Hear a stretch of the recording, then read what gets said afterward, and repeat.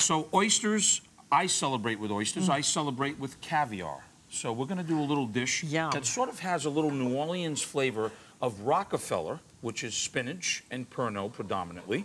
And so I'm here going, we go. to I'm going to introduce you to Mr. Rockefeller one of these days. Okay. The last living brother of David. He's Okay. amazing. I was going to Okay. ask you to see if you could make a little creme fraiche for me Okay. with salt and pepper. Okay. And the shallots perfume about uh, maybe about four or five minutes, folks.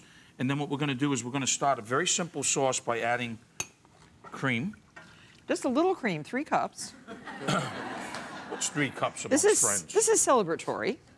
And then you drain the oysters, and I love this. This is the oyster liqueur, the oyster water, Oh, yes. right?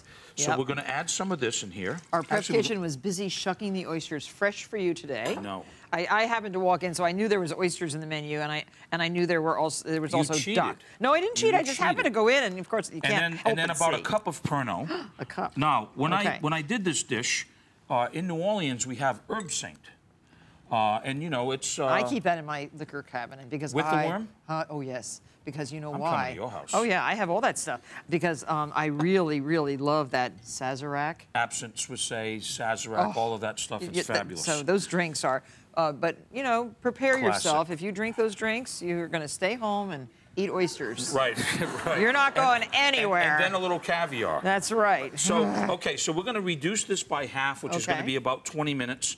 And this is what it looks like. Oh, yeah, look. And folks, see, it just like starts to cover the back of the spoon. Right. Okay. Now what we're going to do, let's have a little seasoning in here, Martha. We're going to have a little salt. I know the oysters are going to be salty. Do you know? You can know- kick it. You can kick it up a notch, Emeril. You're being very. I'm going to. He's I'm being to.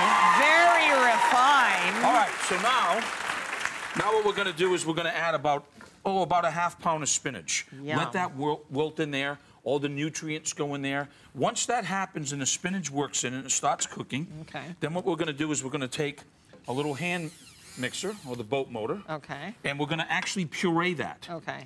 And that then- has to cook a little bit Yes. more. Yeah. And so what happens is that becomes the sauce. So you got this sort of licorice anise flavor with the spinach, a little bit of the green color. Mm. And the color is, uh, It- it- from what I see over there. Yes. See, I'm very observant, Emeril. You're gonna Should add add the all rest that of this? yeah, add all yeah, the I like. I like spinach. Yeah, you add all the spinach in here. Believe it or not, it will cook down and it will incorporate in that.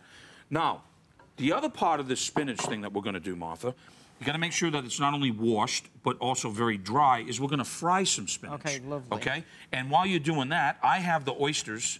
Look at how beautiful They're these so oysters plump, are. yeah. And what you want to do is you don't want to overcook them. You want to cook them just to the sides begin to start curling. You're going to fry the oysters? No, we're going Oh. to fry the spinach. Oh, okay. And I'm going to put the oysters right now inside of our sauce. Okay. Okay? So, folks, this is the sauce right here Oh, yum. that we pureed.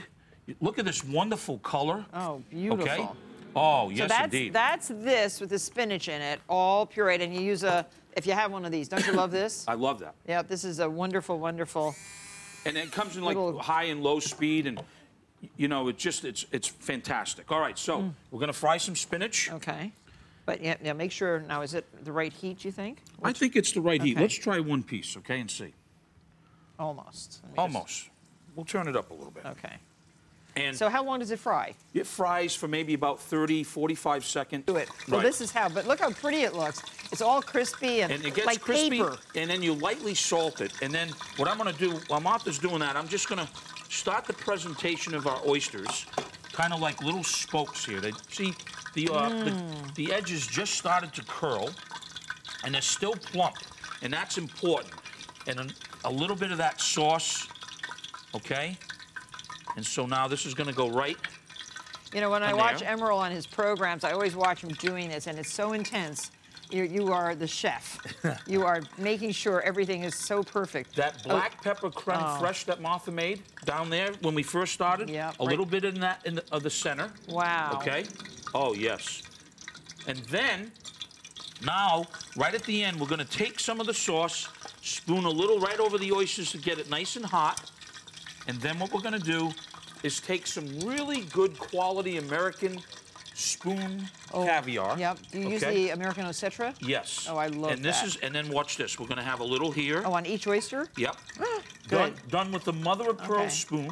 And don't forget, we're celebrating. We're celebrating. Nothing I hate more than skimpy caviar. No, caviar. no, you can't have skimpy caviar.